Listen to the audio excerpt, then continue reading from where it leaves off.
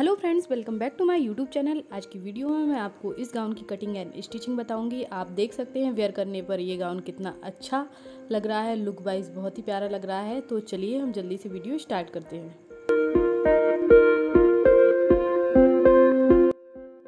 इसके लिए मैंने पाँच मीटर नेट फैब्रिक और पाँच मीटर इनर फैब्रिक लिया है। आप इनर में कोई भी फैब्रिक यूज़ कर सकते हैं। इसको मैंने फोर फोल्ड कर लिया है। फोर फोल्ड मैंने इस टाइप से किया है। हमारा जो कपड़ा है वो लेंथ में बड़ा होगा तो मैंने इस टाइप से इसको फोर फोल्ड किया है। आ, हम इसकी मार्किंग कर लेते हैं। पहले हम कमर की मार्किंग करेंगे। यहाँ पर मैं कॉर्नर से छः इंच पर मार्क करूँगी। इस टाइप से मैंने ये राउंड शेप में मार्क कर लिया है।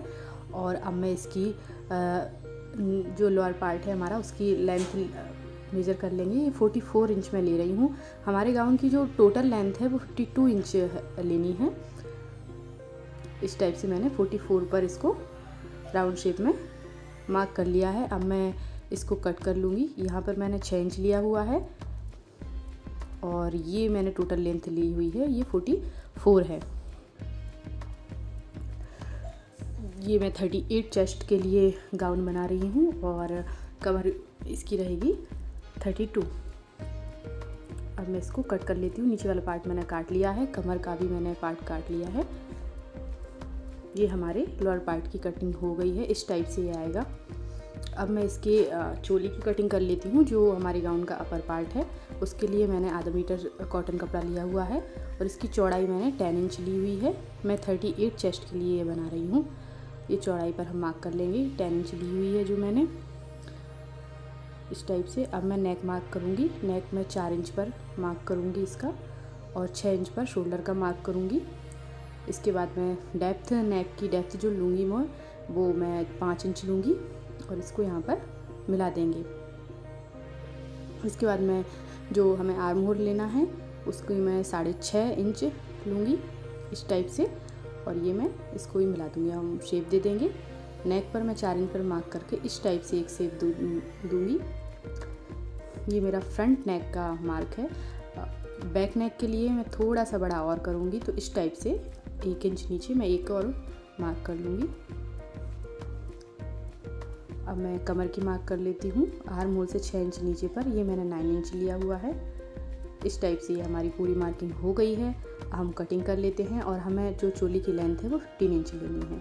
उसको भी मैंने मार्क कर लिया है। पूरा हमारा मेज़रमेंट हो चुका है। अब हम कट कर लेते हैं। पहले हम फ्रंट नेक काटेंगे और इसकी कटिंग करने के बाद हम एक पार्ट को अलग कर देंगे। इस टाइप से। अब हम बैक नेक की कटिंग करेंगे। ये मैंने बैक नेक की कटिंग कर ली है। हमारी जो लोअर वो अपर पार्ट है, चोली की कटिंग हो चुकी है। अब हमें ये कैसे इसको बनाना है मैं वो बताती हूँ। जो हमने घेर काटा था, उसका, उससे कुछ नीचे कपड़ा बचा हुआ था। तो इस टाइप से मैं इसको रख लूँगी। जो एक्स्ट्रा छोटा कपड़ा है, उसको मैं कट करके अलग कर दूँगी। और जो हमारी चोली का बैक पार्ट है, उसमें मैं जिप अटैच करूँगी, जिससे हमारी प्रॉपर फिटिंग आ जाए। तो मैं इसमें इसको कट कर दूँगी, इसको दो पार्ट में कर दूँगी। जो बैक पार्ट है, इसको करेंगे हम। इस टाइप से। अब मैं चोली का फ्रंट पार्ट लूँगी। इसको मैं इस टाइप से रखूँगी कि हमारा कपड़ा ज़्यादा वेस्ट ना हो, और प्रॉपर उसका यूज़ हो जाए। इस टाइप से मैं एक्स्ट्रा कपड़ा कट करके इसको निकाल लूँगी। अब मैं बैक पार्ट के लिए कपड़ा निकालूँगी यहाँ से।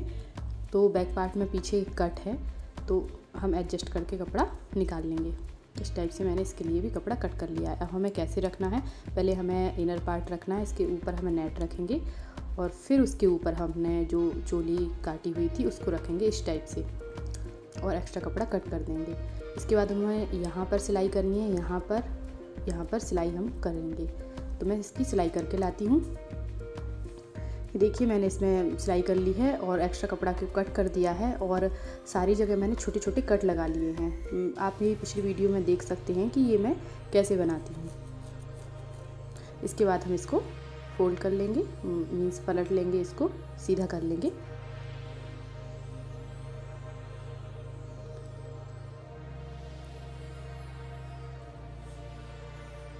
इसको मैंने सीधा कर लिया है तो इस टाइप से ये हमारे चोली बन जाएगी।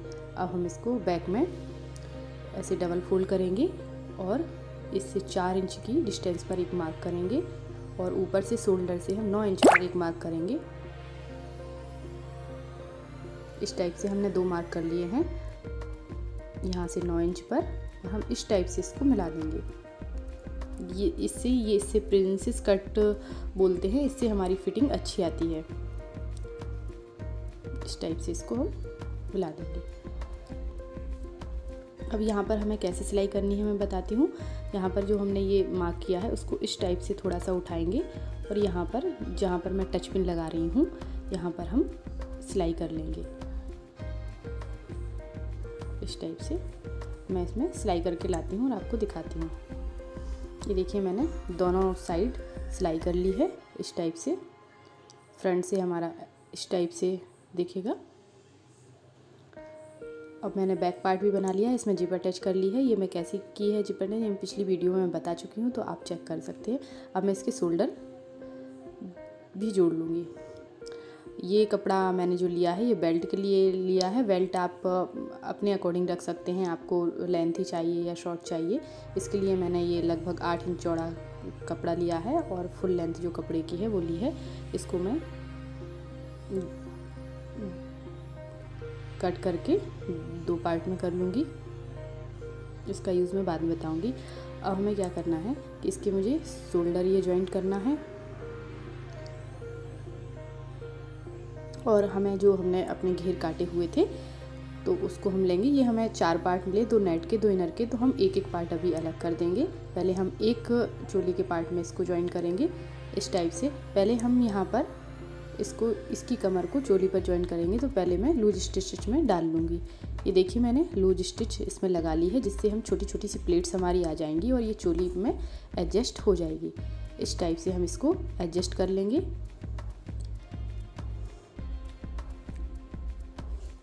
यहाँ पर हम इसको एक धागा खींचकर इसमें प्लेट्स लगा लेंगे और इस तरह से एडजस्ट करेंगे कि हमारी ये चूली में एडजस्ट हो जाए।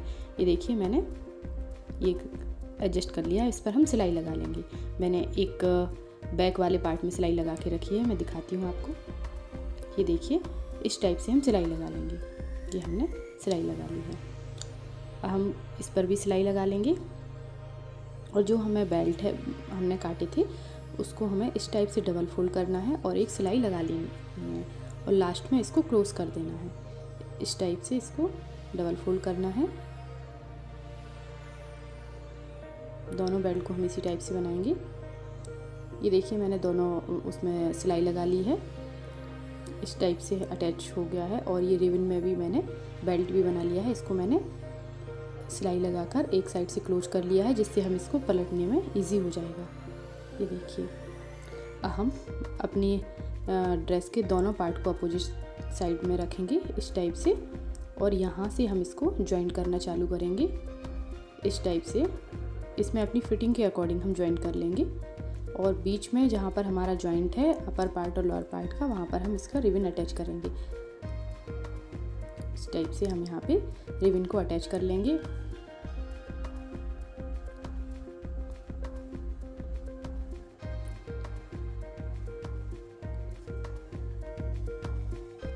इसका नीचे वाला पार्ट ज्वाइन करेंगे तो पहले हम इसकी नेट में सिलाई लगाएँगे।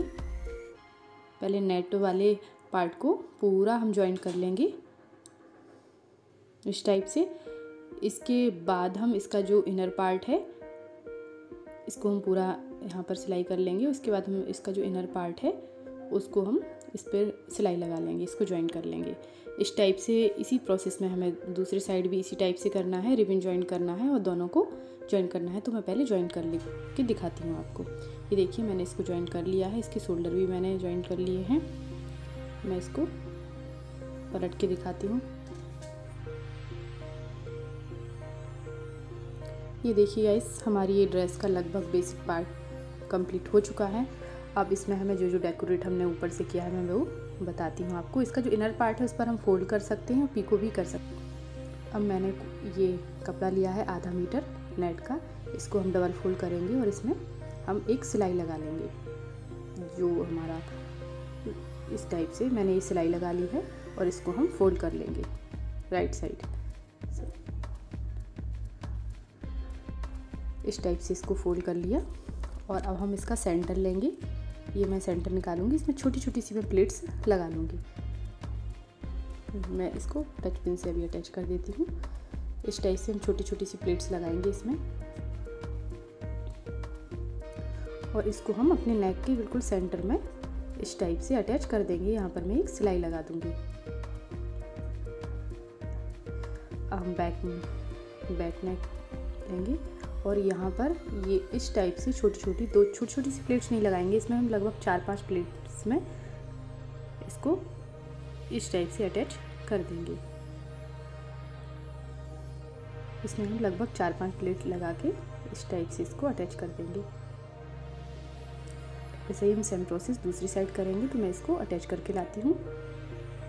देखिए, मैंने बैक साइड में इस टाइप से अटैच कर लिया और फ्रंट में इस टाइप से।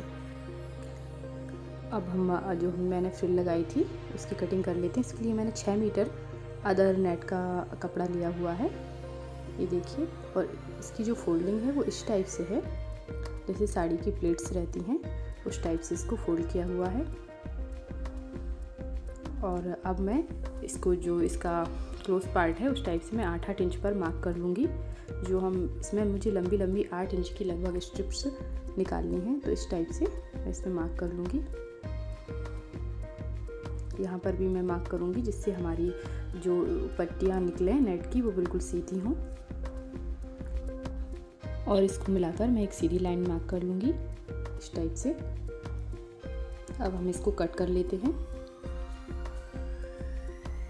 एक स्ट्रिप हमने काट ली है, इसी को रख के मैं सारी स्ट्रिप काट लूँगी इसी साइज़ में।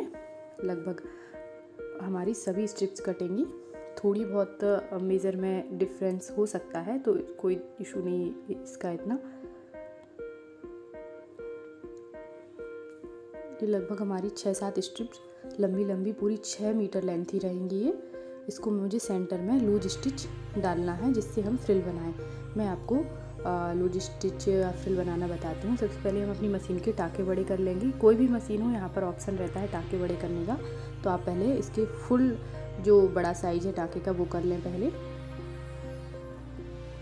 और फिर हमें कुछ नहीं करना है, केवल इसका जहाँ से फ्रिल स्टार्ट करनी है उसको इस टाइप से रखना है। ना कपड़े को खींचना है ना पकड़ना है बस नॉर्मली हमें मशीन चलाते जाना है तो इस टाइप से इसमें फ्रिल बनती जाएगी। देखिए मैं सिर्फ़ आ, मशीन चला रही हूँ कपड़े को बिल्कुल भी नहीं खींच रही हूँ नॉर्मली और इस टाइप से हमारी प्लेट्स बनती जा रही हैं। अगर हमें और भी गैदर चाहिए तो हम जिस टाइप से लूज स्टिच डालकर धागा खींच कर से लगाते हैं। उस टाइप से भी हम कर सकते हैं। ना इतनी भी सफिशियंट रहती है, ये हमारी फ्रिल बन चुकी है। सारी स्ट्रिप में हमने यही कर लिया है। अब हम एक धागा खींचकर इसको इक्वली डिवाइड कर लेंगे। इस टाइप से हम इसको इक्वली डिवाइड कर लेते हैं सभी जगह। ये देखिए मैंने सारी फ्रिल को सीधा कर लिया है और सभी में थोड़ी सी और मैंने गैदर्ड कर ली है इसको पास पास ले आई हूँ प्लेट्स को। हम इसको अपनी ड्रेस में अटैच करेंगे। इस टाइप से मैं जो अपर पार्ट है हमारा नेट का, उसमें एक इंच की डिस्टेंस से मैं इसमें अटैच करूँगी। उस टाइप से मुझे पूरा जो हमारा राउंड घेर है, उसमें अटैच करना है इसको। नीचे नीचे इस टाइप से मैं इसको अटैच कर लूँगी। जब हमारा एक राउंड कंप्लीट हो जाएगा पूरा, जहाँ पर हमारी फ्रिल ख़त्म हो जाए वहीं से नेक्स्ट फ्रिल भी स्टार्ट कर देंगे। और उसके बाद में सेकंड लेयर भी डालूँगी। उसको मैं जस्ट इस फ्रिल के ऊपर ही अटैच करूँगी। एक दूसरे के ओवर लेयर हो जाए जैसे इस टाइप से मैं अटैच करूँगी फ़र्स्ट फ्रिल और इसके ऊपर सेकंड फ्रिल तो मैं इसको आपको अटैच करके दिखाती हूँ पहले। ये देखिए गाइस हमने फ्रिल अटैच कर ली है और इसके इनर पार्ट में मैंने पिको भी कर ली है। आप फोल्ड कर सकते हैं पीको भी कर सकते हैं। मैं आपको दिखाती हूँ मैंने कैसे अटैच की है। आप देखें, ये मैंने एक इंच की डिस्टेंस पर इसको सिलाई लगा ली है और इसके ऊपर दूसरी फ्रिल भी अटैच कर ली है। अगर आप और भी गैदर्ड करना चाहें तो आप इसके और भी ऊपर फ्रिल अटैच कर सकते हैं, जिससे आपकी ड्रेस में और अच्छा लुक आएगा। और मैं इसको वेयर करके दिखाती हूँ। देखिए फ्रेंड्स इसका लुक कुछ इस टाइप से आएगा।